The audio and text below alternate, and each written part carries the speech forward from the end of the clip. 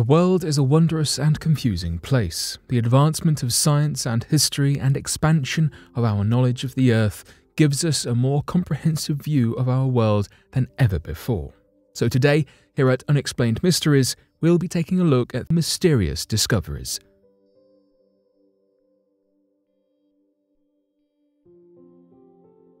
Uranium at the Grand Canyon.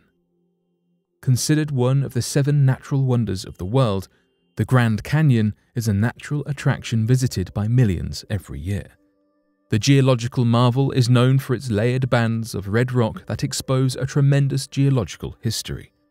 However, the landmark also holds deposits of minerals that have enticed miners for years. Uranium naturally occurs within the rocks at the Grand Canyon. Uranium is a radioactive material, meaning radiation is always present in the surrounding environment. A study confirmed that the amount of radiation in the air is at background level and is not of concern for the public's health or canyon spectators. Uranium mining at the Grand Canyon began with the uranium craze in the 1950s. Millions of tons of ore were mined from the area during this time. There are hundreds of now abandoned uranium mines surrounding the Grand Canyon that have been polluting the geological wonder, as well as the homes of the Havasupai tribe. When the uranium market picked up again in the mid 2000s, mining around the area continued, this time leaving behind thousands of uranium ore claims. The water supply and surrounding environment greatly suffered from this, leaving the Havasupai people with a contaminated water supply. In 2012, a 20 year ban on uranium mining was finally placed on 1 million acres of the Grand Canyon and surrounding area to protect all that depend on the land. The mining ban also gave scientists adequate time to research the long term effects of those radioactive mines and the severity of the risk to local people and animals. However, as of October 2020, there were still over 600 active mining claims in public lands around the Grand Canyon.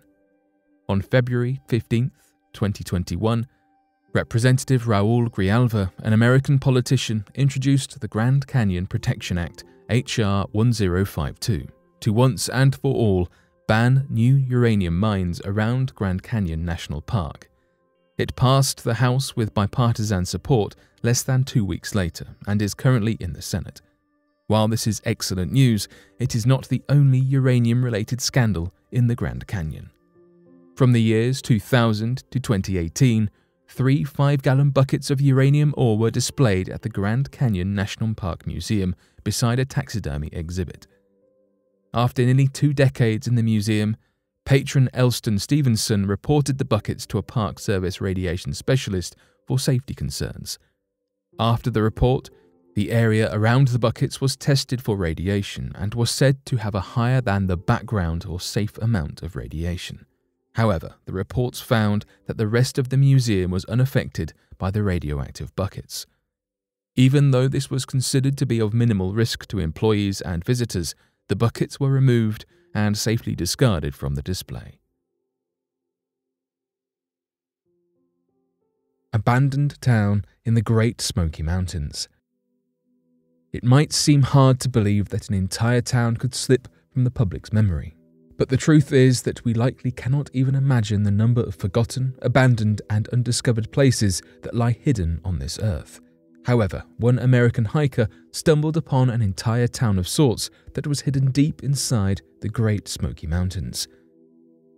Jordan Lyles was on a seemingly ordinary hike through a trail in the Great Smoky Mountains National Park in Tennessee. He set out on an unmarked gravel road that he happened to come across which he was astonished to discover turned out to be the back entrance to an entire abandoned neighbourhood, complete with a hotel. Luckily, he had brought along a camera and was able to video and photograph his adventure into the forgotten American town.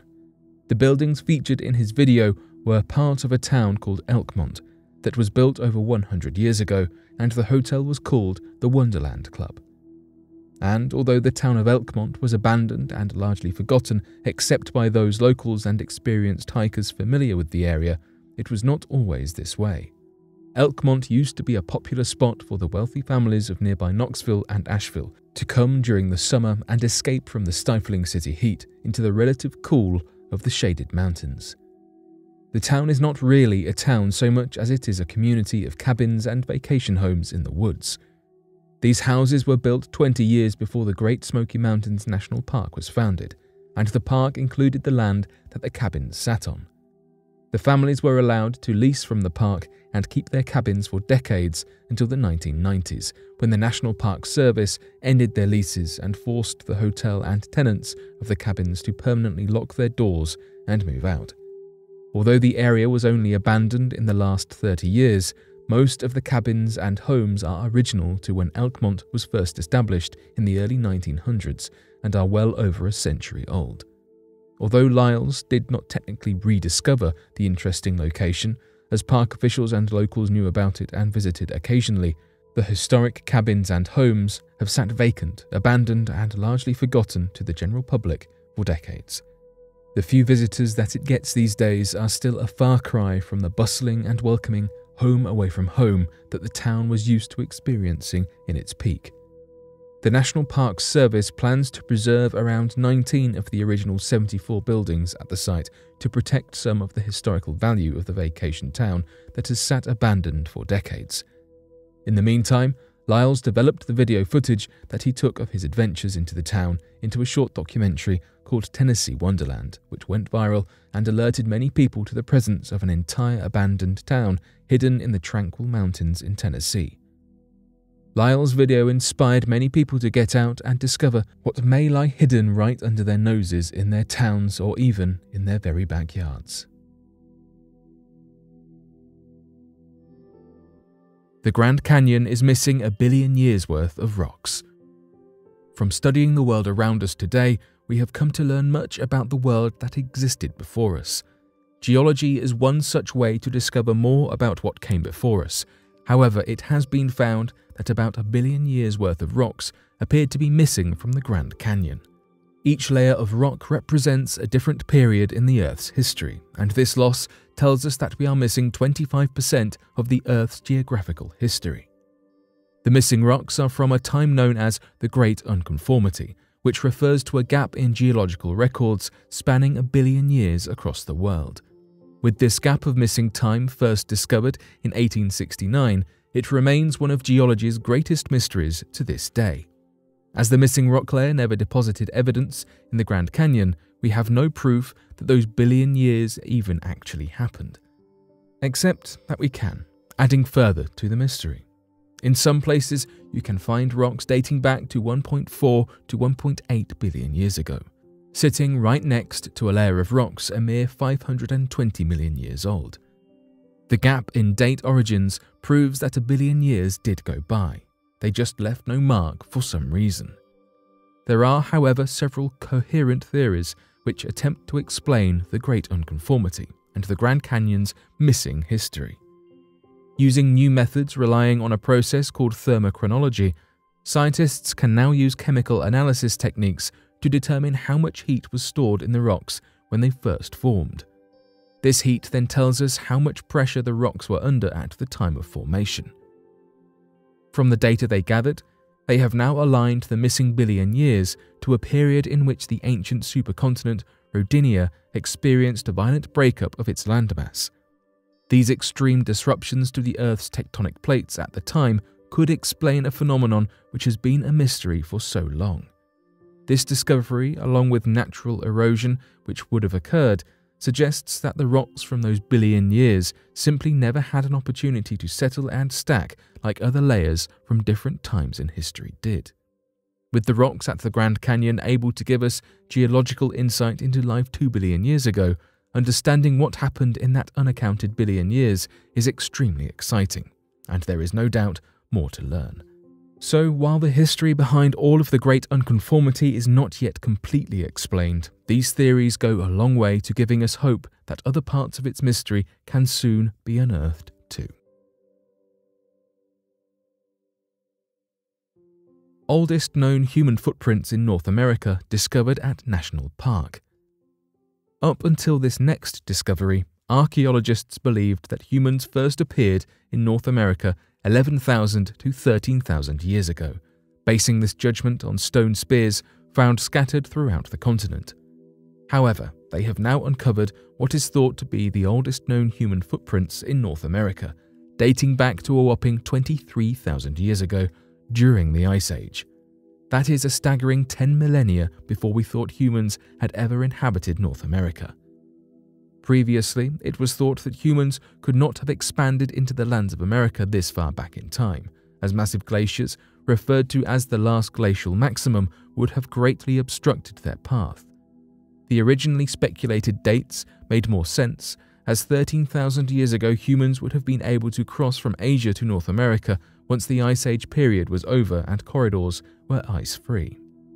The new archaeological find showcases 60 human footprints, being most likely those of children and teenagers, it is thought, with the occasional adult print judging on sizes. The discovery also tells us more about how these settlers used to interact with each other. This revelation is set to completely upturn existing theories of past human existence and population patterns. Resources manager David Bustos found the footprints in White Sands National Park of New Mexico, and they were then analysed using carbon dating techniques on embedded seeds found within them. It now calls into serious question the validity of previous estimates that humans first walked through North America 13,500 years ago. Instead, these theories have been revised to suggest that our predecessors could have crossed from Asia to the Americas as early as 26,000 to 19,000 years ago. Thinking more about where the footprints were found, it is thought that two ancient Apache trails used to cross what is now the national park. The descendants of the original Apache settlers are referred to as Mescalero Apache. While it is a hugely game changing discovery, Bustos reminds us that it is also sad to think of how much other insight we could have lost to soil erosion in the area. Nonetheless, the discovery shows not only how far we have come in terms of scientific progress, but that sites such as this national park still have a wealth of history waiting to be found if we can preserve their contents well enough. strongest Mars quakes yet discovered by NASA's InSight lander.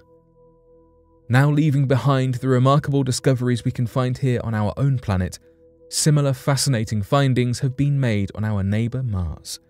On September 18th, InSight Mars lander's 1000th day on the surface of the red planet, the rover detected one of the biggest Mars quakes yet, with an estimated magnitude of 4.2, and even more impressively, it shook the ground for almost 90 whole minutes, making it also the longest recorded Mars quake to date. Similar quakes had been recorded a month ago in August.